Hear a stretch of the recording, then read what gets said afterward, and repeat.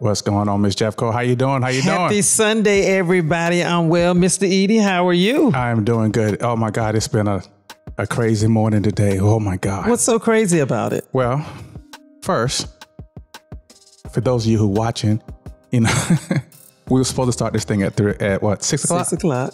and it is now seven, and we had some serious issues, and hopefully we fixed our technical difficulties, but we're up and popping now. Yes, these things happen, you know, so we appreciate the patience. And that's what Mr. Edie has to work on his patience.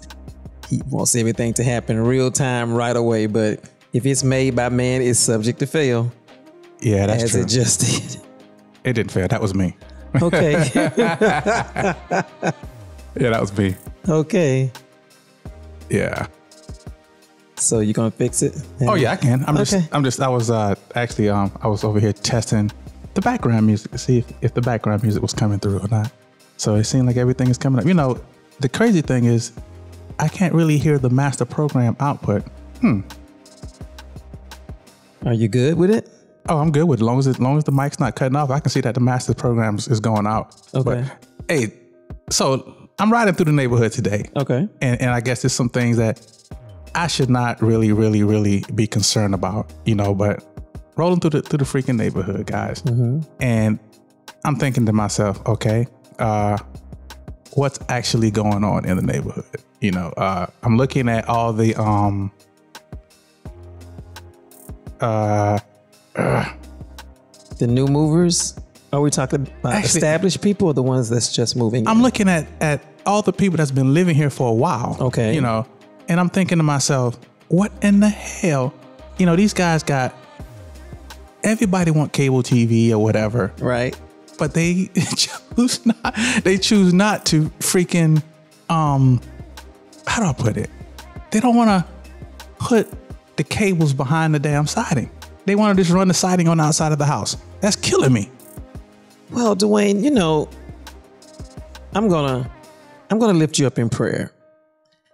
While ergonomically the right thing to do may be to put it under the siding, a lot of times people have just been rigging things for a long time that when you're in a subdivision and you see it, it looks a tad bit more irritating than just being in a country on private property and be like, hey, I'm just gonna run this line. We're gonna make it straight and pretty down here, although you got a white wall with this black line running. You know what I'm saying? it happens. And it's to the point now that I have to catch myself because when I see a black line, I'd be like, oh, I hope Dwayne doesn't see that. Because I see what you see. And I don't ride as much as you ride. You know, so but I see it though. But I'm here for the for the people. I'm here for the people. okay. All right, guys, let me let me explain something to you. The tool that it takes to take your siding off your house is less than three bucks. provided that you have the know-how. Thank you. Okay, the top of the siding, the top of the siding, guys, is actually nailed down. The bottom of the siding is not nailed down. So you can pull the bottom up. Now you got to understand that the top piece is connected to the bottom piece. So Okay. once you, f- it just clips underneath it. Okay. You can pull it. If you got enough time to drill through your siding, you got enough time to, to take a freaking screwdriver or something and pop the siding out. And, and, and check this out. On the corner of your house, on the corner of your house, the siding is just slid, it just slid in there. It's not it's not nailed down. It's just slid in there. So if you look at the corner of your house, you'll see that the siding. You can just reach in there and pull pull your siding up. I get it, but are we helping or are we are we fussing? A little bit of both. Okay. I just wanted to ask. Someone had to, you know, bring in that lot of transparency there. So I just had to ask. So I mean, at first it was like, all you have to do is, like I said, every and I'm gonna defend you guys. And I understand where he's coming from. He has the know-how. But the average brother may not understand if I lift this siding, it's not going to make the rest of the rows below it fall or above it fall. But I know people personally who shall remain nameless who don't know how to do that. And to be honest with you, prior to you saying it, I knew it could be done, but I didn't know how. And I've never corrected him and say, well, bro, you know, if you just lift it and clip it back on there, it works. I'm saying I've heard people say say that. Like, you know, I wonder if I took would I have to call or pay I'm just saying. So that's what I'm saying. Let's come from a standpoint of educate versus then over evaluate. if that makes sense. You know, it does happen. Okay, okay. Yeah. I, I, I'm trying to educate you. Yeah. You can take this siding off your home. All right. If you got, if you're gonna go in a wall, and you're gonna go through your sheetrock, it, it should at least be behind the siding. I agree. You know, don't drill a hole in the siding where the water can come in and then get behind the sheetrock and then you Cause know more damage. Cause more damage. Right. I totally get it. And I get that it does happen. But like I said, you know, it's easy for us, you know, it's easy to pass by that house. You know, I'll give you a prime example. We have neighbors, and right now, their yard may look like, oh my God, what's going on with them? But people who ride by saying that don't realize their circumstances. You know what I'm saying? You know, things happen. And whereas a yard is mainly or normally manicured, it just hasn't been because of things that's happening in people's life and they haven't been around because of extenuating circumstances. So a lot of people just flat out don't know. A yard is somebody can cut a yard, I but agree. nobody can just run up on them and just be like, "Bro, you see that line? I know you're behind. Know you can put it behind that side." And no, they just, they just don't know. You know, or better yet, you know what? A lot of us have that mentality to say, "Hey, if that's the way Direct TV put it, that's the way it's supposed to be." I've actually had Direct TV come out, and Direct TV have actually changed. Actually, it was Time Warner.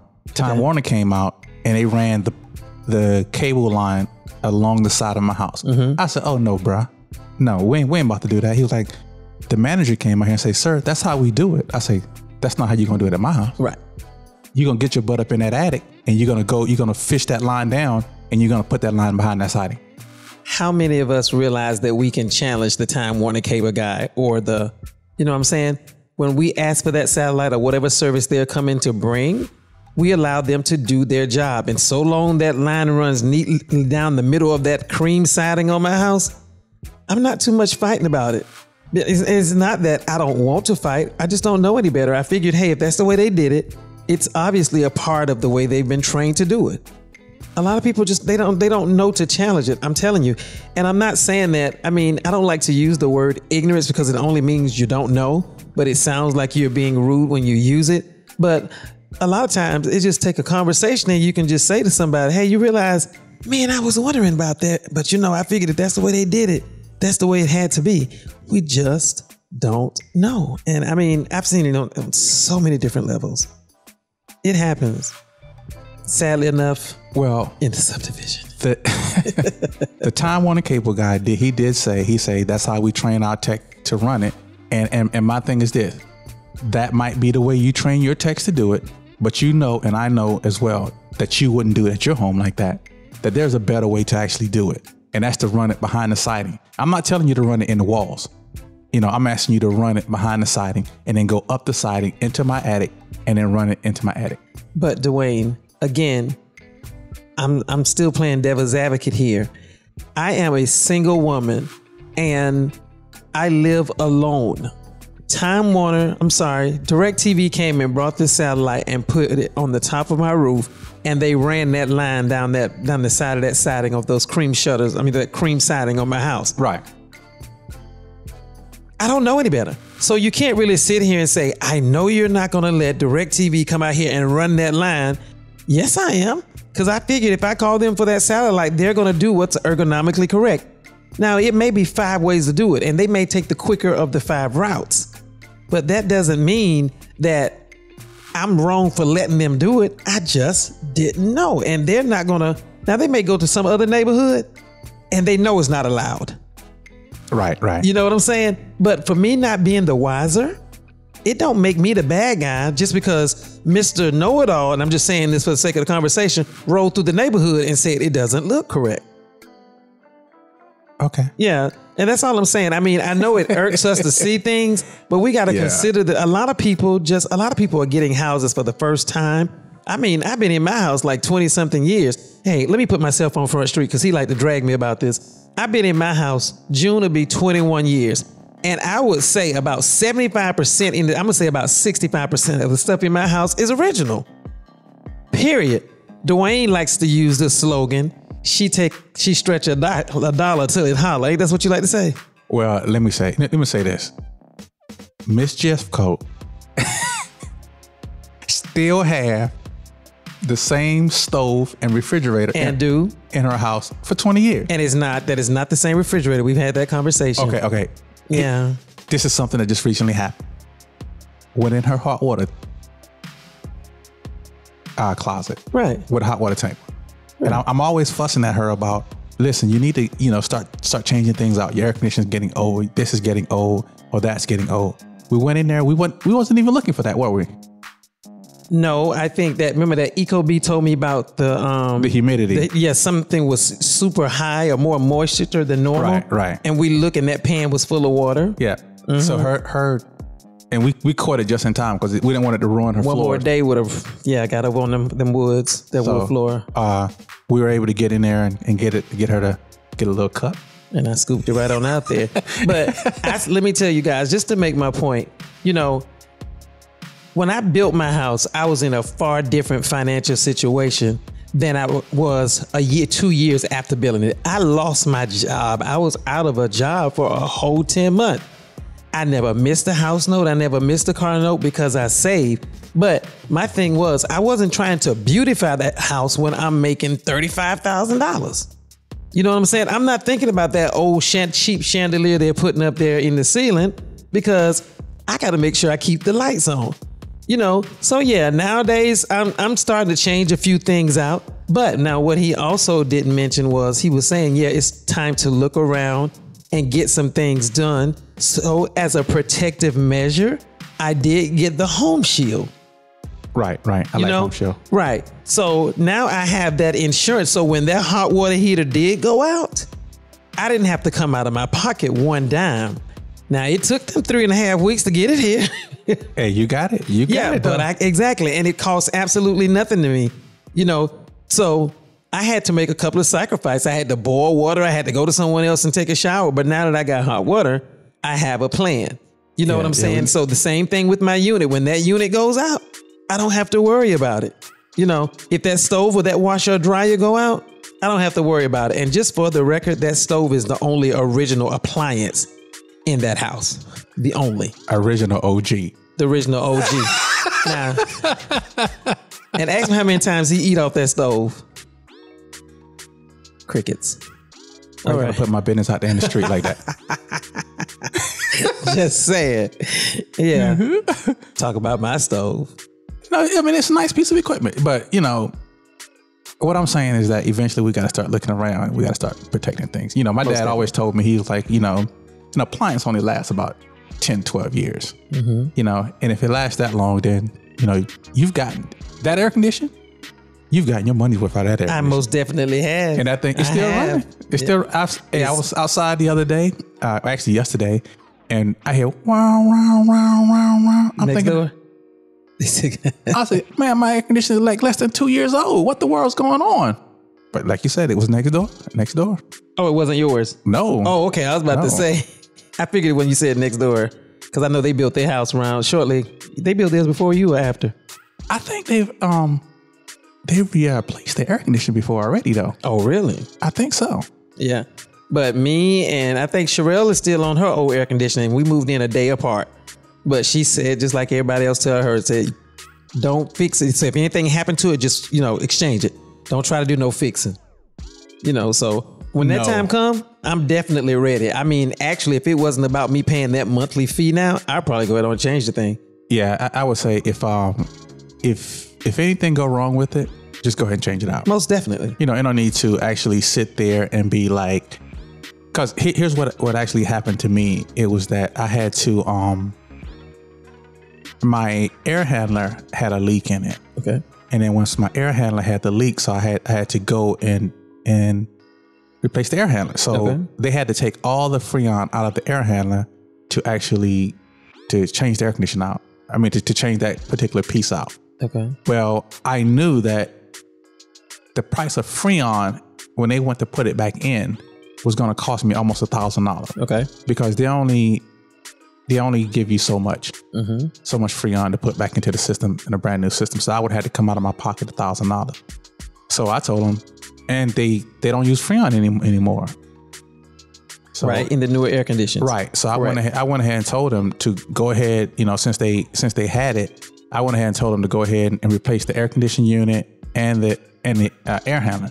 Okay. But because I had American Home Shield, American Home Shield replaced the air handler, but I had to replace the air conditioning unit myself. It didn't die. I had to actually go in and, Gotcha. and actually replace it myself. So they replaced the air handler as a broken appliance, but because the air conditioner wasn't dead, it wasn't. They weren't going to change the unit. Right. Gotcha. right. So Okay. I went ahead and, and actually did that, and I got a pretty good deal on that too. So That's good. My dad keep telling me he hit that I hit them across the head. So I ended up getting everything installed for less than five grand. So There you go.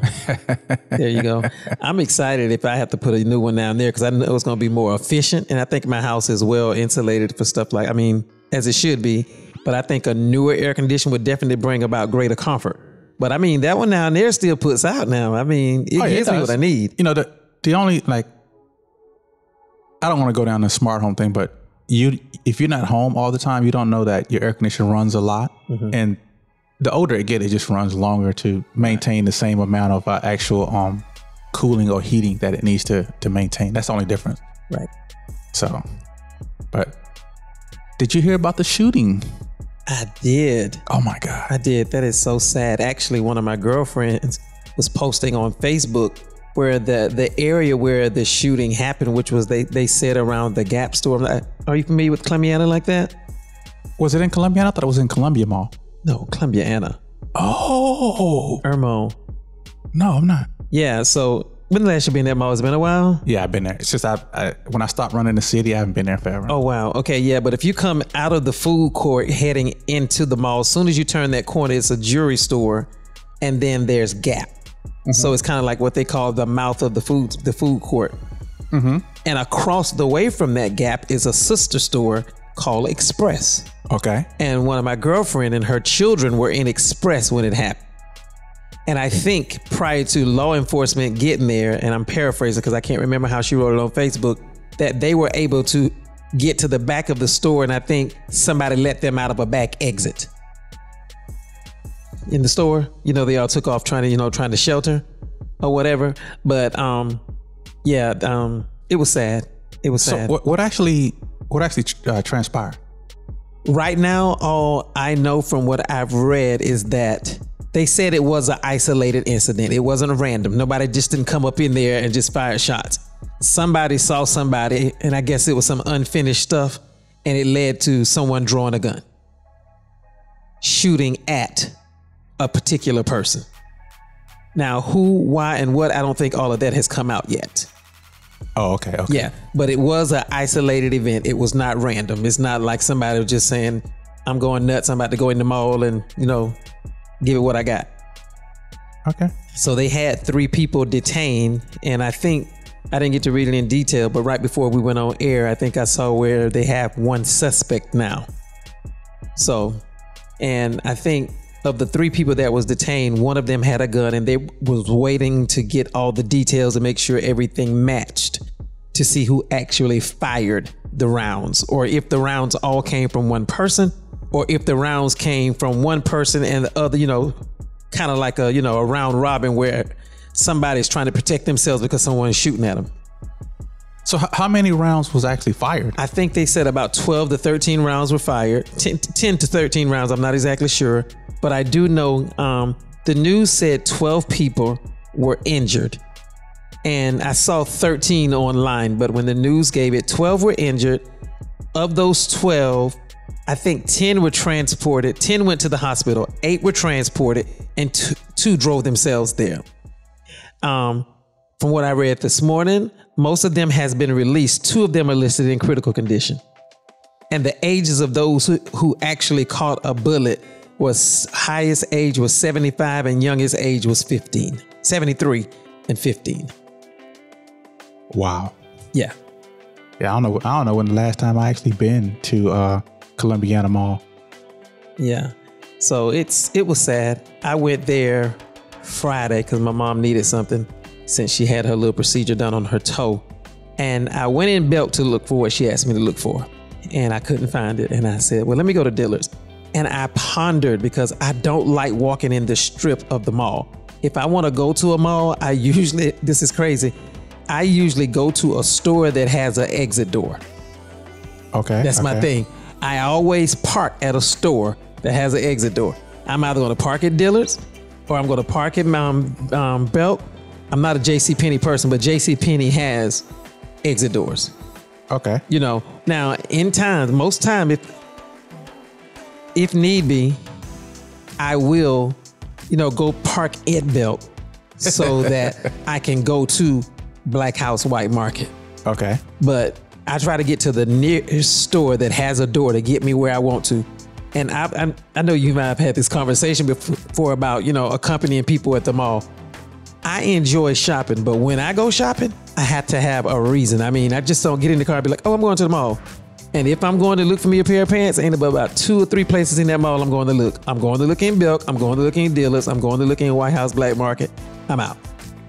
I ain't doing all that lollygag. It's something about I, I've never been. I probably ran more with Janelle back in the day, but but then Columbiana's a little bit more upscale. You know what I'm saying?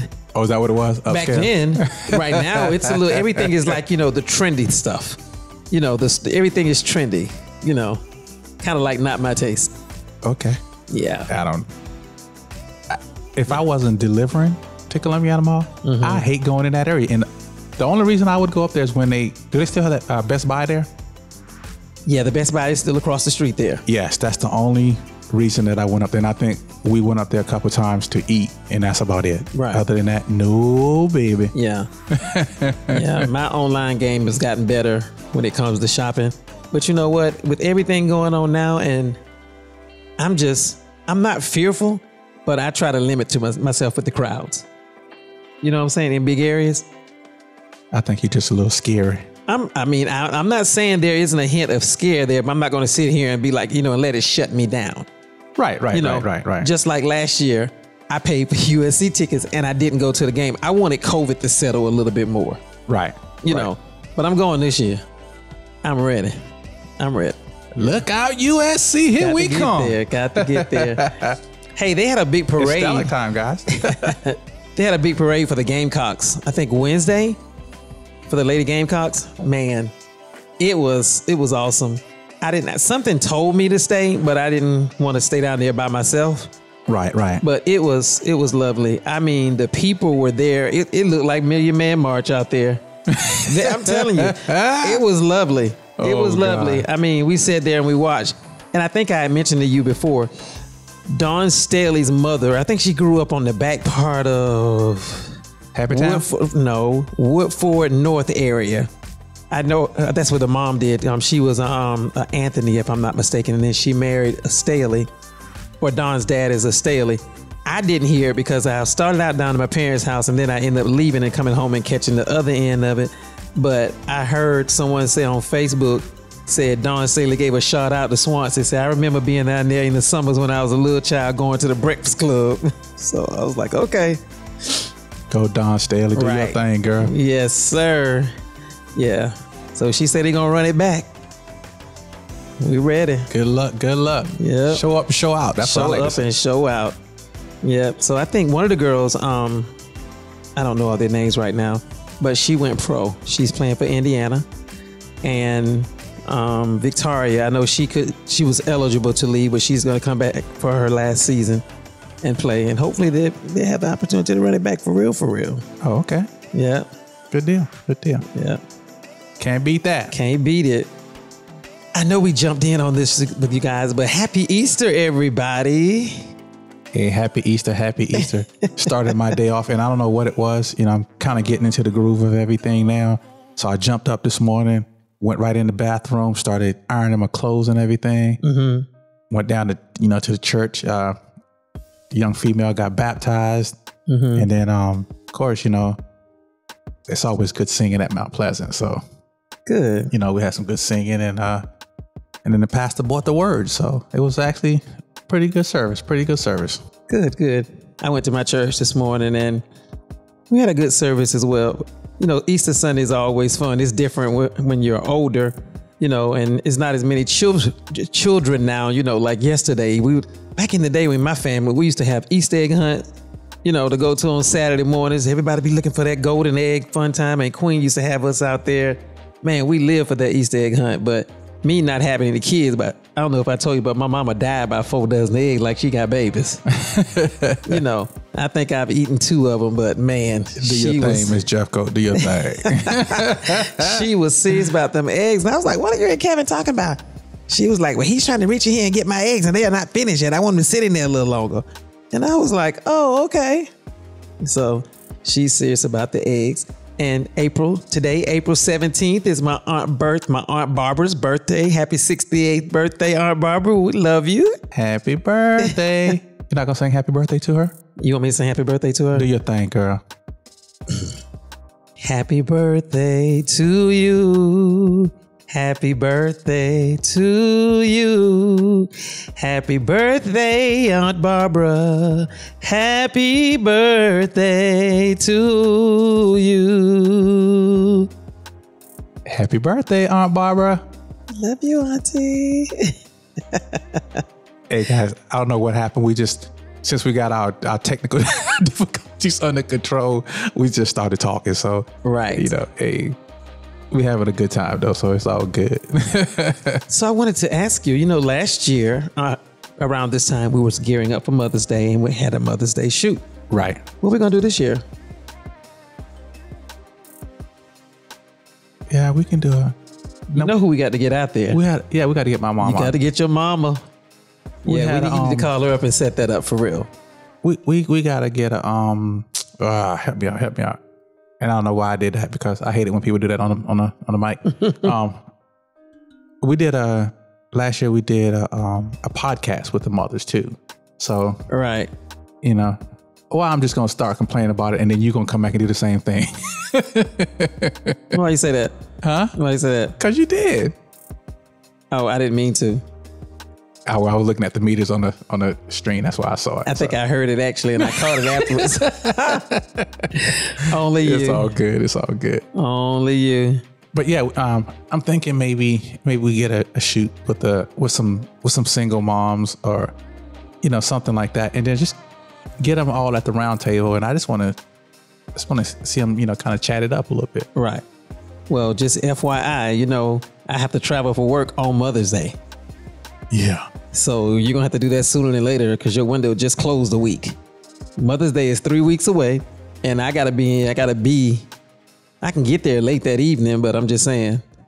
So you might want to plan that so we can get it posted and done on Mother's Day while we're traveling. yeah, yeah. That's something to think about. We'll, Yeah. we'll see. I try to look out for you. Amen. Amen. Amen. All right. Anything else on your mind pressing that you want to share with the people? Nah, not too too much. Not too pressing. Okay. Well, I want to say this, guys, for the future. What's up with my preview? For the future, um, I want to do a little challenge. There's a little. I'm not going to put too much time into it, but there is a show on Netflix called The Ultimatum. It's a series. I need you guys to check it out. We're going to have a conversation about it. Not so much about the people in general and our thoughts, but just about life and the ultimatum. Just check it out on Netflix. Um, hit me up. I'll probably get some conversation going about it later on on Facebook. You know, I'm gonna give it a week or so. Check, let you guys check in. Let me know which um if you've watched it. You don't have to watch the whole thing to chat about it. Just watch the first three, three, four series. Let's talk about it. I'm telling you, it's gonna be interesting. That's all. I want to put that out there, just to drum up some conversation for later. Okay. Okay. Well, Yeah. I understand. I guess that's out there for the for the ladies. Well, the, the men can listen to it too, right? And when they Right. can watch it as well, right? Yeah. Well, you guys, thank you so much for tuning in again. You guys take care, be safe, and have a safe week. Bye.